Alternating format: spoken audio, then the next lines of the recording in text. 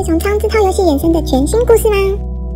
我们希望苍之耀是没有玩过原作苍之涛的观众也能够看得懂的作品。基本上它是一个全新的故事，但是世界观是从苍之涛延伸出来的。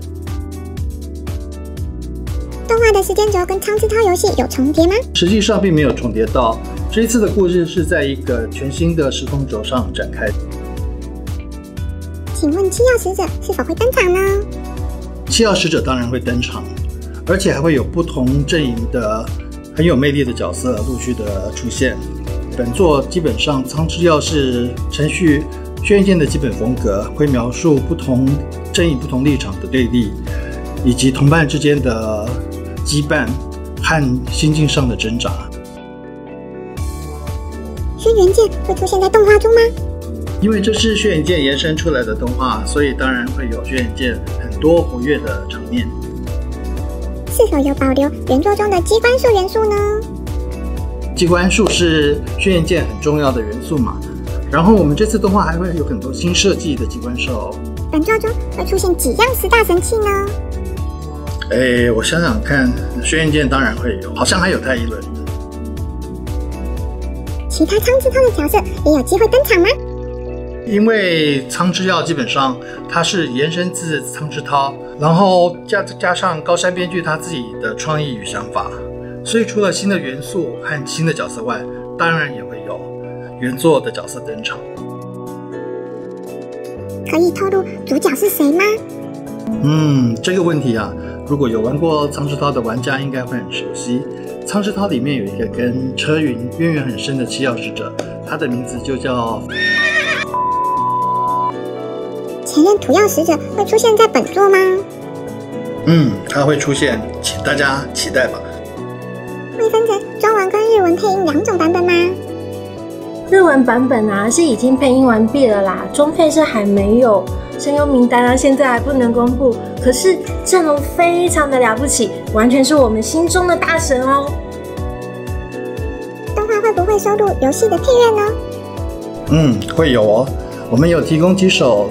轩辕剑里的配乐给日方编曲，而且他们的配乐我们都一首一首听过，真的非常的精彩，请大家可以期待。OP 跟 ED 的歌手是谁啊？OP、ED 的演唱者啊，预计都会在八月的时候会由歌手本人来公布。OP 的演唱者呢，是我本人的偶像，而且他曾经上过红白大赛。请问制作过程中有什么印象深刻的回忆呢？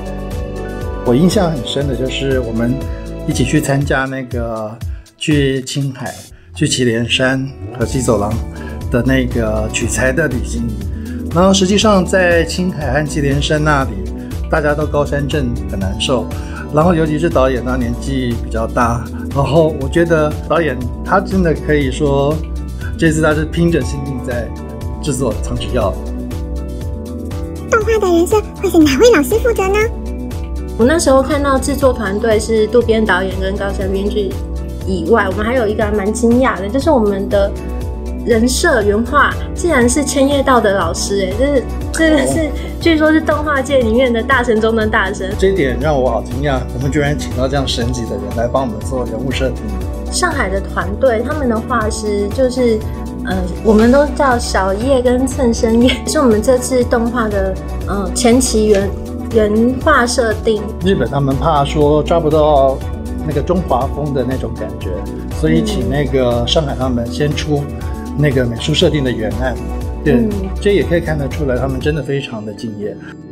请发表一下跟日本动画公司合作的感想。整个的过程，我觉得是还蛮新鲜有趣的啦，因为以前游戏也不不是这么样的制作方式跟流程，所以我觉得蛮新鲜的。像他们对于轩辕剑的世界观非常的尊重，然后花时间把苍之涛的故事全部都看过，然后设定那个攻略本也仔细的研究过，然后碰到有世界观任何细节的问题，一直问我们。